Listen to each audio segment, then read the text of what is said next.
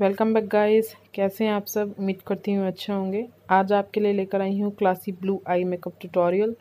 I hope ये सबको पसंद आए। अगर आपको ये वीडियो पसंद आती है तो आगे बढ़ने से पहले मेरे चैनल को लाइक, शेयर एंड सब्सक्राइब ज़रूर कर दीजिएगा। इंस्टा पे मुझे फॉलो करना ना भूलिए। लिंक डिस्क्रिप्शन बॉक्स में अवेलेबल है। मैं यहाँ पर अपनी आई को प्राइम कर लिया है, कंसील कर लिया है, आईब्रो फिल कर लिए हैं और एक स्कॉच टेप की हेल्प से एंड से लेके आईब्रो तक उसे टेप कर रही हूँ। फिनिश के लिए, इससे फिनिशिंग बहुत अच्छी आती है। नेक्स्ट मैंने फ्लफ़ी ब्रश पे अपना जो फ्लफ़ी ब्रश होता है आपकी किट में, उस पर मैंने ट्रांजेक्शन शेड लिया है। आप कोई सा भी जो आपके पैलेट में सबसे लाइट शेड हो ब्राउन शेड में, वो अप्लाई कर सकते हैं अपने पूरे क्रीज एरिया में, अपने लिड एरिया पे बहुत अच्छे से होल्ड एंड बैक की स्ट्रोक में से अप्लाई कीजिए। अपने ट्रांजेक्शन शेड को बहुत अच्छे से ब्लेंड करना है ताकि आपकी क्रीज लाइन और जो लिड एरिया है, बहुत अच्छे से सेट हो जाएँ। नेक्स्ट मैं यहाँ पे ले रही हूँ एल एटीन का काजल। आप कोई सा भी ले सकते हैं जो आपके पास अवेलेबल हो बट स्मूथ टेक्सचर होना चाहिए। और अपनी क्रीज लाइन से पूरे लिड एरिया पे मैं इसे रफली ऐसे ही अप्लाई करूँगी। फिर बाद में हमने इसे ब्लेंड करना है, इसलिए बहुत ज़्यादा क्लीन की ज़रूरत नहीं है। आप एल एटीन की जगह कोई सा भी काजल ले सकते हैं जो ईज़िली ब्लेंड हो जाए। म्यूज़िक फ्लार का जेल लाइनर भी ले सकते हैं। गाइज़ मैं आपको बता दूँ, ये लेंसेज मैंने लेंस कार्ड से परचेज़ किए हैं। लिंक इसका डिस्क्रिप्शन बॉक्स में मैंने अवेलेबल कर दिया है। अगर आपको पसंद आते हैं तो आप इसे परचेज़ कर सकते हैं। नेक्स्ट मैं फ्लैट ब्रश की हेल्प से इसे ब्लेंड कर रही हूँ। अच्छे से इसे ब्लेंड कर लेंगे। आप फिंगर की हेल्प से भी इसे ब्लेंड कर सकते हैं। क्यू टिप से भी इसे ब्लेंड कर सकते हैं। बट क्रीज लाइन से इसे ऊपर लेके नहीं जाना है। वहीं पे अच्छे से ब्लेंड कर लेंगे अपने इनर कॉर्नर पे, आउटर कॉर्नर पे। पूरे लिड एरिया पे क्रीज तक इसे अच्छे से ब्लेंड कर रही हूँ मैं। और आप कोई सा भी आई पैलेट ले सकते हैं। नेक्स्ट मैं उसी फ्लैट ब्रश पे अपना ब्लैक कलर का आई पिक कर रही हूँ और अपने काजल को सेट कर रही हूँ और एक अच्छा पिगमेंट के लिए आप ब्लैक आई पिक कर सकते हैं। इसे अच्छे से ब्लेंड कर रही हूँ अपने लाइन को। नेक्स्ट फ्लफ़ी ब्लेंडिंग ब्रश की हेल्प से ऊपर की जो हार्श लाइन है काजल वाली, उसे ब्लेंड कर रही हूँ अपवर्ड्स मोशन में, ताकि क्रीज लाइन पे अच्छे से सेट हो जाए कोई भी हार्श लाइन ना दिखे। अच्छे से ब्लेंड कर रहे हैं, आप देख पा रहे हैं किस तरीके से ब्लेंड करना है। नेक्स्ट में ये फ्लैट ब्रश है। इस पर मैं अपना ब्लू कलर का डार्क ब्लू कलर का आई पिक कर रही हूँ। मेरे पे ये अर्बन की पैलेट है। आपने पहले मुझे वीडियो में भी इसे यूज़ करते देखा होगा। उसी पैलेट से मैं ये ब्लू कलर का आई पिक कर रही हूँ। और जहाँ जहाँ मैं, मैंने ब्लैक कलर का काजल और आई शेडो अप्लाई किया है और डायरेक्ट उसके ऊपर मैं टैब मोशन में ये ब्लू कलर अच्छे से बिठा ले रही हूँ।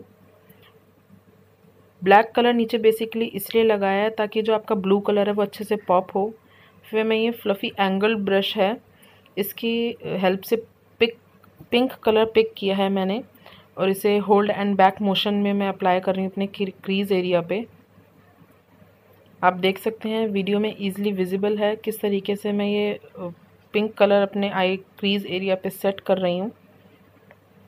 बहुत ज़्यादा एक बार में पिक नहीं करना है कोई भी अमाउंट थोड़ा थोड़ा लेके चलना है अदरवाइज़ एक बार में हो जाएगा पिक तो ज़्यादा एक बार में आपकी आईलिड पे क्रीज एरिया पे बैठ जाएगा, फिर उसे रिमूव करना बहुत मुश्किल होता है।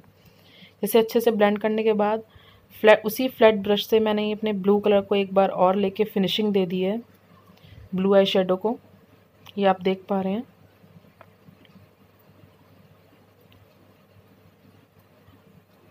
ये मैंने कलर्स क्वीन का zero six blue shimmer eye shadow लिया है। इसे फिंगर की हेल्प से मैं अपने ब्लू वाले एरिया पे आई शेडो जहाँ पे मैंने ब्लू लगाया था, डायरेक्ट उसी के ऊपर फिंगर की हेल्प से लगा रही हूँ। आप ब्रश से भी लगा सकते हैं, लेकिन ये थोड़ा फिंगर की हेल्प से थोड़ा ईजीली अच्छे से अप्लाई हो जाता है। बहुत अच्छे से सेट कर लेंगे और जो कॉर्नर्स बचेंगे, उस पर हम ब्रश यूज़ कर सकते हैं क्योंकि फिंगर कॉर्नर्स पे अच्छे से नहीं पहुँचेंगी। नेक्स्ट फ्रफी ब्रश की हेल्प से मैं इसकी जो क्रीज लाइन है, उसे अच्छे से ब्लेंड कर रही हूँ ताकि कोई भी हार्श लाइन ना मुझे शो हो। ये आप देख पा रहे हैं, जो इस पे प्रोडक्ट पहले से था, मैंने वही प्रोडक्ट लिया है, इसे अच्छे से टैप कर लिया है। ये मैंने म्यूज़िक फ्लार का जेल लाइनर लिया है। आप लिक्विड लाइनर भी ले सकते हैं। और इसे विंग बनाते हुए, टेप है, कोई टेंशन वाली बात नहीं है, कोई बाहर निकल जाए तो कोई दिक्कत नहीं है। टेप की हेल्प से बहुत नीट एंड क्लीन आपका आई मेकअप होता है, जो बिगनर्स, वो इस स्टेप को ज़रूर कीजिए। टेप की हेल्प से बहुत नीट एंड क्लीन आपका आई मेकअप होता है, बहुत ज़्यादा इफ़ेक्ट की ज़रूरत नहीं पड़ती, बाद में कंसील करने की ज़रूरत नहीं पड़ती। यहाँ पे मैंने अपना आईलाइनर लगा लिया है, विंग आईलाइनर लगाया है और इसे अच्छे से फिल कर लेती हूँ।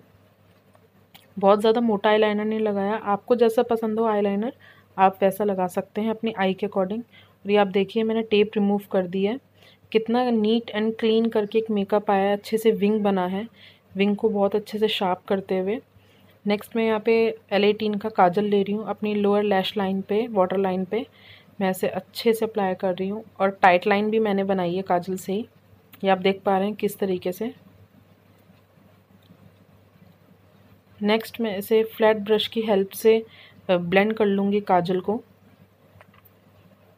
हार्श नहीं फील होना चाहिए, जो आपकी लैश लाइन है उस पर बहुत अच्छे से सॉफ्ट ब्लेंड चाहिए। नेक्स्ट मैं ब्लू आई पिक किया है, जो मैंने ऊपर लगाया था। वही आई पिक करके मैंने नीचे इसे ब्लेंड कर लिया है काजल के संग, ताकि जो इफ़ेक्ट आपका ऊपर है, वो थोड़ा सा नीचे भी शो हो, और इससे आपका जो आई मेकअप है, वो बहुत ही अच्छा और सॉफ्ट दिखता है। ये देखिए, कुछ छोटे छोटे स्ट्रोक्स में स्मॉल ब्रश की हेल्प से आप पेंसिल ब्रश भी ले सकते हैं। नेक्स्ट मैं अप्लाई कर हूँ हुडा ब्यूटी का लैशेज़ इसे थर्टी सेकेंड्स कुछ सूखने के लिए मैंने दिया है ग्लू को। और इसे मैं अप्लाई कर लेती हूँ अपने आई लैशेज़ पे। गाइज़ अगर ये वीडियो आपको पसंद आ रहा है तो लाइक शेयर करना ना भूलिए सब्सक्राइब करना ना भूलिए। इंस्टा पे मुझे फॉलो ज़रूर कीजिए, मैंने लिंक डिस्क्रिप्शन बॉक्स में अवेलेबल कर दिया है। नेक्स्ट मैं लगा रही हूँ यहाँ पे अपना मस्कारा। एम एन का मेरे पास मस्कारा है। लास्ट है ये glide sorry sorry glam highlighter shade zero four मैंने इसे अपने इनर कॉर्नर पे फ्लैट ब्रश की हेल्प से लगा रही हूँ। और फिंगर से इसे डैप कर लेंगे सेट कर लेंगे। फिर मैं यहाँ पे अपनी आईब्रो बोन जो है मेरी हाइलाइटर वाले एरिया वहाँ पे भी मैं इसे अप्लाई कर रही हूँ। उसी फ्लैट ब्रश की हेल्प से आप फिंगर से भी अप्लाई कर सकते हैं। या फ़ैन ब्रश जो इसका हाइलाइटर का होता है, वो भी अप्लाई कर सकते हैं, बट मुझे इजी थोड़ा इससे रहता है। ये आप देखिए मेरा फिनिशिंग लुक आपको कैसा लगा। गाइज़ अगर ये वीडियो आपको पसंद आ रहा है तो शेयर ज़रूर कीजिए। कमेंट करके मुझे बताइए आपको ये वीडियो कैसा लगा। तब तक के लिए good bye guys thanks for watching my video. Stay safe, stay healthy.